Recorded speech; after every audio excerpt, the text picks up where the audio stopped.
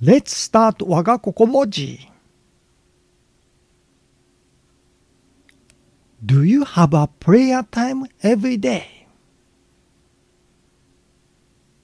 It is important to have a communication time with Gattenchi Kanenokami every day.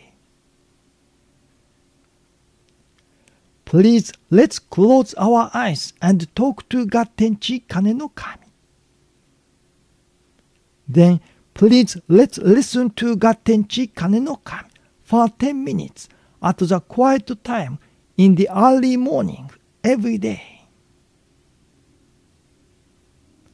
Thank you for watching.